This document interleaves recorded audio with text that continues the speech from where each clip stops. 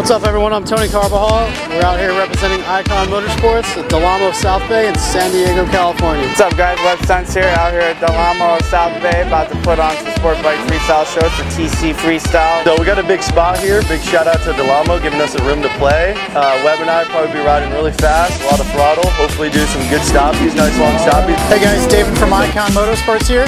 Had another rager of a day at uh, Del Amo South Bay. We had sport bike wheelies, burnouts.